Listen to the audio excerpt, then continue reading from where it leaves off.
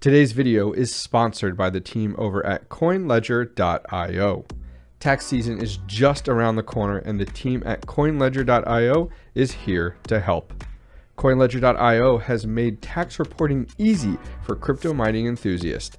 Get this. In a few easy steps, you can have CoinLedger.io pull your crypto wallet transactions and generate a tax report. Then just supply that tax report to your tax guy or import straight into TurboTax. Bam, bam, thank you, ma'am. You're done. I have partnered with CoinLedger.io to offer this entirely free to the community, as well as CoinLedger.io is also hosting a free giveaway event. Full details and links in the description of today's video. What is going on miners and welcome back to the Hobbyist Miner channel. Well today I am joined by none other than Seb Hesla. What's going on Seb? Hey, how you doing? Doing awesome. So guys, today we're going to be talking about my crypto mining shed. And I've been chatting a lot about it with Seb and he had some questions and I was like, this would be an awesome video to share with the community. So Seb, are you ready to dive in and talk about my crypto mining shed? Absolutely. I'm looking forward to this. And the sort of role I want to take here is kind of like that of your viewers, right? Because you have built this very elaborate contraption for your your mining, right? Yep. Your mining operation. And I just want to sort of like step into the shoes of someone looking at that from the outside of like what's going on, what's the purpose and and the the what, why, how and and when of building a crypto mining shed, right? So Perfect. I have written down a few questions for you here. So should we just get right into it? Just dive in, give it to me. All right, all right. So the very first question that I have for you is why do you need a mining shed? What's what's the point of a shed like this for mining? Yeah, that, that's actually a really good question. And I wish I knew what I know now, like two years ago when I first got into mining. Um, yeah. So, you know, a lot of people that have followed my channel know that I've tried different things. I've done it in my basement. I've done the grow tent. I've done the mining room and all of them got me by, but I very quickly like outgrew those items. Uh, that's the biggest challenge as a home miner is like you outgrow your setups very quickly. Heat's usually the hardest. So for me, why the why a mining shed in that regard was, and I, I didn't realize it till like I actually had it built was the fact of wow, mm. like all my rigs are out there. I remember the first day, like I had electricity and I, I wasn't I couldn't be more excited to get everything out there and it was the fact of like no noise in my house, no heat at all in my house, and that was the biggest factor. It was like having a dedicated space that didn't affect my home. And I think that's something that like every mm. miner can relate to is man, if it's not noise, it's the heat that seeps into the rest of your home and affects things. I mean, my basement got to the point where like I had multiple AC guys out because my vents were sweating throughout my home and then destroying drywall and drop ceiling and all that types of stuff because my heat that I was putting off in my mining room, which is so much, it just was affecting everything. So having a separate building was is the best thing in the world, honestly. Yeah. So my um my next question is kind of along those lines okay. and you've somewhat um replied to it already, answered this question already, but what, because just because I know the your your story from you know being sure. I would say friends for yep. the past couple of years, right? Yep. Um, what I wanted to get to is kind of like because you like you said have gone through this same journey that I feel a lot of miners take is you you buy a couple GPUs and build your first rig and you mine with that and then as that grows, you start noticing the issues of either heat buildup or noise or or be it what be it, right? So then you might move into something like a smaller grow tent. Mm-hmm. And then you outgrow that, and then you build some sort of dedicated room for it in your basement or whatever. And yep. then you outgrow that. And then there always comes the point of like, what's next? And obviously for you, that was a shed Yep. So, do you remember a specific breaking point that made you realize that, like, no, I, it, it's it's got to be a shed. Yeah, I think it was when I was in the process of renovating my basement. I've been doing that over the last two years. I've kind of kept people up to date on that. And when the the heat from the mining room and and that mining room has eight uh, 800 CFM fans, so it's not short on airflow. But the issue is, is just that heat was like uh, was just impacting the rest of the home. And when it got to the point where the the, the vents were being affected and it was like damaging the work that I was doing on my basement, my renovating basement. It was just like one of those like, oh crap moments. Like, man, I thought I thought this through. And I think I feel like most miners have this thought of like, I thought this through. I thought it was gonna work. And then it doesn't work. And you're or like yeah. it doesn't come out the way yeah. you want. And I feel like that's really common for home miners. Um, unfortunately, you have to learn these things and make the mistakes to really come out the other side. Yeah. And and that's where the shed came in. So for me it was yeah, it was when my home was impacted to the point where like in the winter I'm got I got windows open and like in the summer my my the heat is yeah. the, the air conditioning's not keeping up and then i have a family here and my wife and everything it's like man it's just it's all compounding yeah. to the point where it's like okay do i spend the money um and uh, yeah, w- and once you pull that trigger, you, you don't go back. But uh, I'm so thankful I did.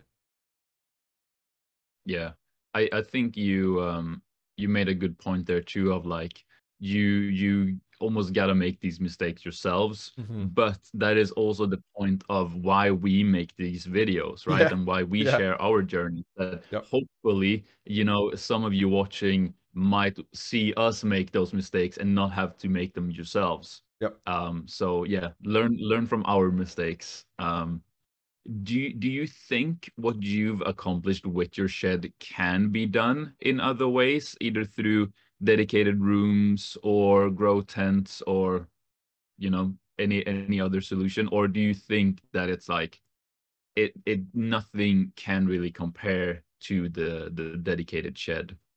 I think um, I could have gotten by like uh, when I was thinking back through our conversation. I'm like, okay, was there an opportunity where there was a step in between that could have gotten by? Was actually like my first grow tent was pretty small, um, and uh, Chump Change XD actually got one of those like massive grow tents. It almost was like a, and there's actually even bigger ones. Looking back, um, and, and this will lead to, to the question of, you know, not doing my mining room and doing a larger grow like just keeping it opened up in my basement and doing a larger grow tent like that. So you have dedicated space. The grow tent does a pretty good job of sealing it in. I never had issues with like mine like that heat leaking into the rest of the home and stuff. The, the grow tent did a good job of keeping it isolated. Um, I, I think that could have been a step for me between the two um, before i got to the shed you know as an option. But the mining room was one of my biggest mistakes and one of my most expensive mistakes. And I wish I would have went from grow like small grow tent to big grow tent, like chump change, and then to shed. Um, just the amount of money. I mean, that mining room, when all said and done, with labor, everything, was probably five thousand dollars. And now it's a closet full of yeah. like stuff that's not like mining hardware. Uh, I'm even thinking about like gutting out the inline fans and like disabling the electric and everything because it's like I'm never gonna go back to a mining room ever ever. It just it didn't work. Yeah. Uh, and it was worth a try, but it just it didn't work. And that room, I thought I thought of everything. It's got half inch uh, insulated foam board behind all the drywall. We have, you know, there's eight 800 CFM in there total, like all those fans that are in there. There's three 30 amp 240 volt. So it's like I thought I thought of everything. I got, you know, the ducts in the ceiling and everything like that. But at the end of the day, it just it affected my home too much. And so that, that was one of my biggest mistakes as a home miner. Yeah. So just just getting into specifics, mm. what exactly about the mining room was mm. it that didn't work in the end? Because as you yeah. say, on paper, it really seems like it should work. Yeah. Yeah. I think it's uh the fact of, you know, with a shed, it's just a box. It's a wooden box. And the mm. sound, mm. you know, is one thing, not a huge deal. You know, I, I, at the time I built it, there wasn't a lot of ASICs and stuff, but you know, it was that airflow. Like out there, um, I'm pulling in cold air. Well, that's what I had in my mining room. So okay, I got the cold air. So check, like great, whatever. Airflow is good and everything. But with the mining shed, you know, the heat can go ahead and can seep out of that mining shed and it's okay. It just it dissipates, right? What happens in my home in my mining room when like I thought I had everything good to go, it just seeps out and mm. affects the rest of the house, even though it's like sealed up. Like it's pretty sealed. I mean, I'm not gonna say it's airtight in any way, shape, or form. Like that's not the way it is. Um, but I, I think it's just because of the fact of like one, it's in the basement. So when that uh, heat comes out, it's just seeping upward.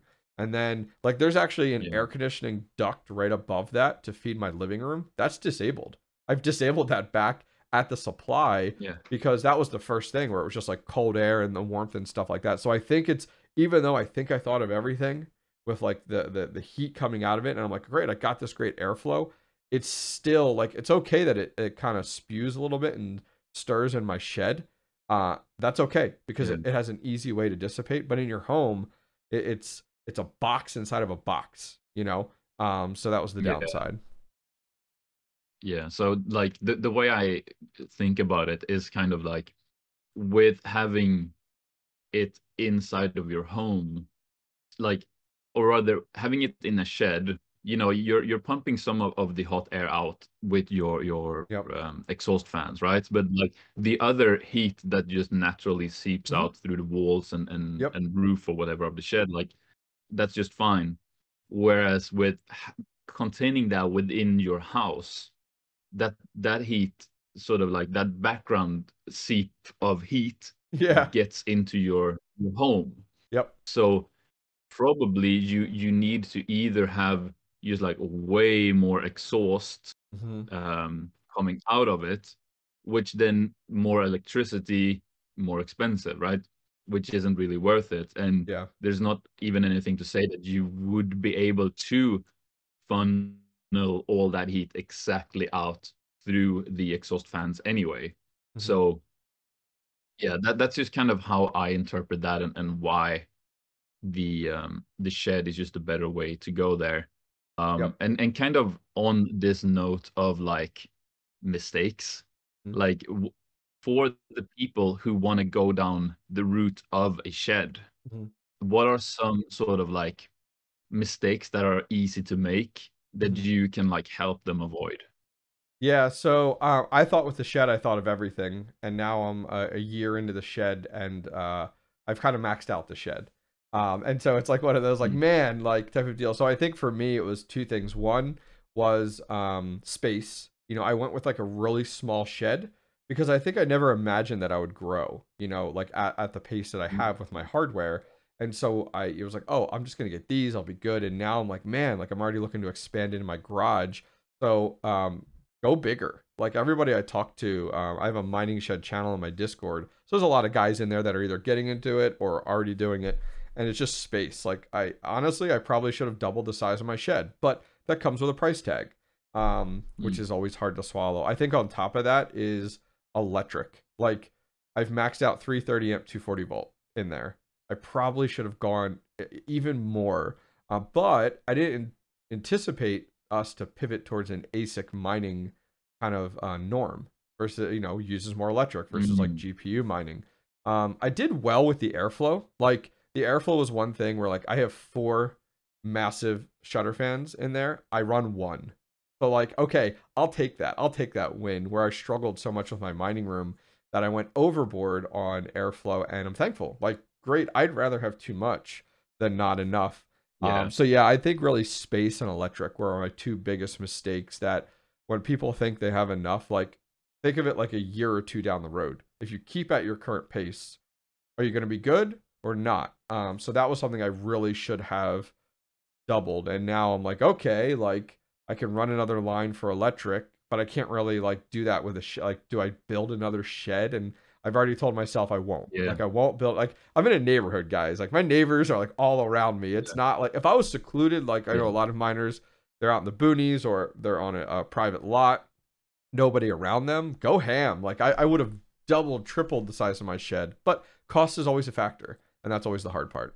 Yeah, yeah. I think um, with with the size, just um, th- there are multiple constraints there. Like you could either physically make the shed too small, or you could go too small on the ex like the airflow Mhm. or you could go too small on the amount of power uh, that you you pull in there and like you say you can always kind of add more airflow you can always add more Yeah. electricity it's really hard to add more physical space Yeah. once the shed is actually built Yep. um so for for you are there any sort of space optimizations you could do? Like do you have some open air rigs you could fit into server cases to save on some space? Could you stack some of those like vertically instead of horizontal? You know what i mean? Like like or No, it's a great it like question. you really hit your your peak there Yeah, I mean, um, in the video I previously did the other week where I talked a little bit more about the design, like that was one thing I thought about was like airflow, like intake in one side, exhaust out the other. There,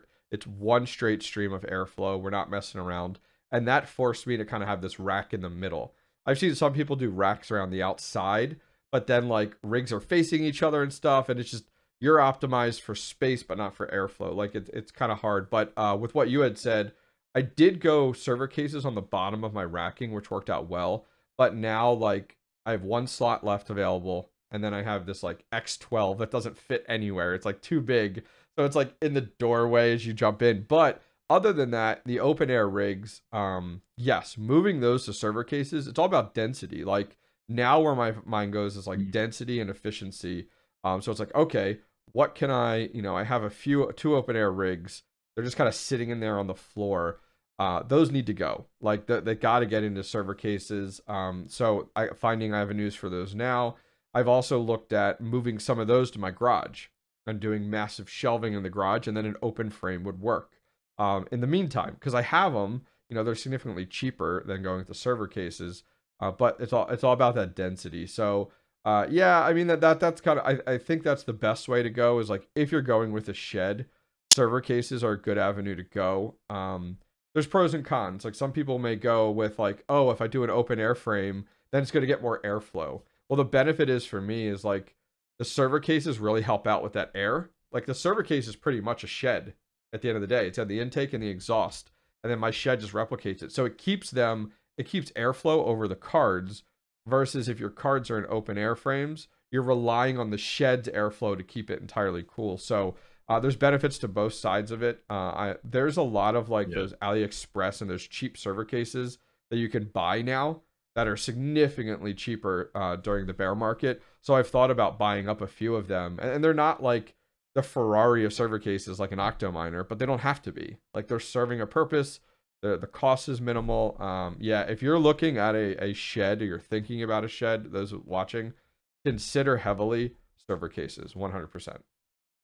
Yeah, yeah, yeah. And just on, on that note of server cases, I want to throw in like it's it's all about what you need from your server case too. Yeah. You know, those cheap ones on AliExpress, they do the job, you know, Yeah. but they're not gonna have things like, you know, automatically controlling the fan speed based on your GPU temperatures. Yeah. you know, you're gonna have to just set them at 100% if that's what's needed or set them at 80% or you know and they're not going to have you know at the wall power measuring and they're not Mhm. going to have environmental sensors and it, it's all just about what you need and they obviously aren't going to have like what warranty if Yeah, correct. breaks down or yeah. you know, Yeah, they're they're super. or Yeah, they're super inexpensive now. I mean, I've been Um, looking at them and everything, and they're yeah. they're they're super cheap. So uh, it's a great avenue to go, even to get you in the door. Um, I mean, open frames look nicer. Yeah. Let's be honest here; they look great. You know, you got one behind you there; they look awesome to see. But at the end of Yeah. the day, you got to think about utility.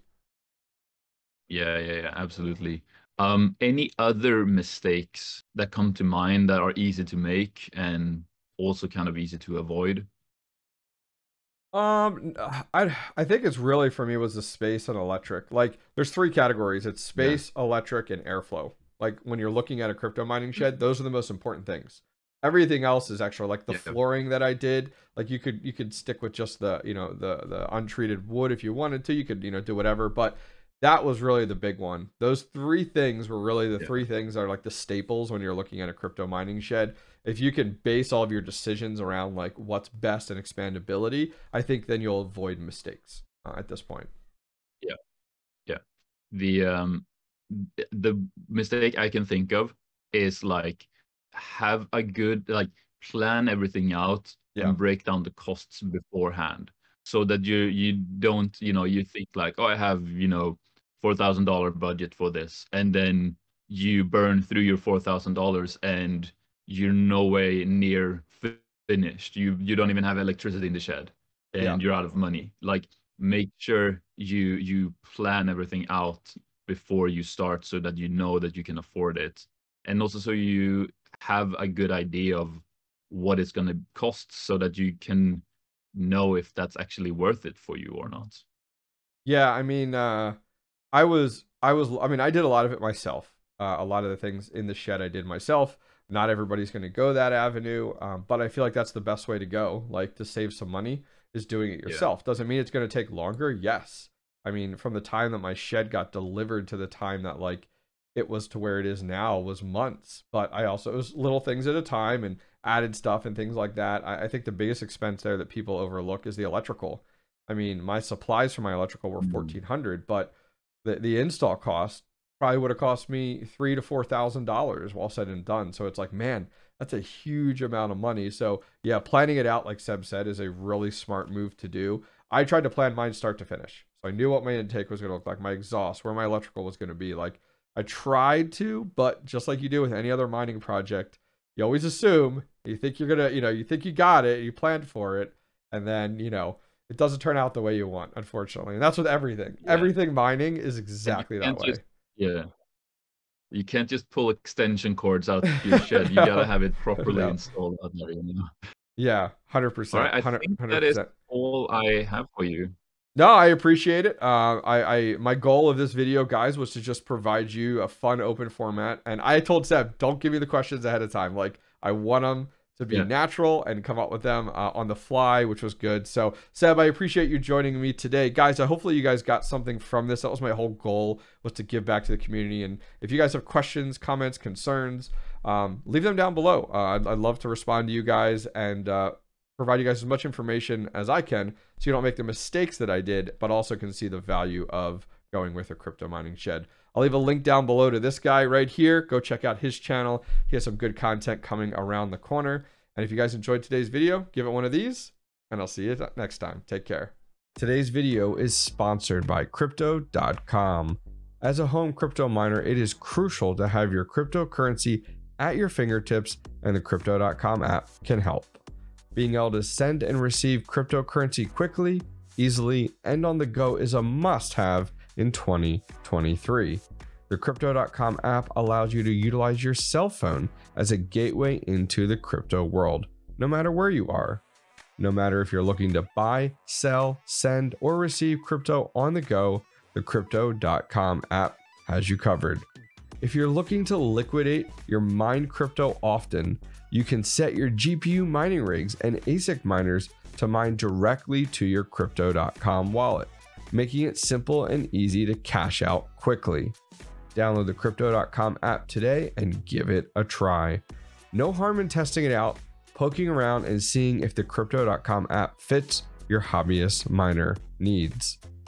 Guess what? Use the link in today's video description to support the hobbyist miner entirely free.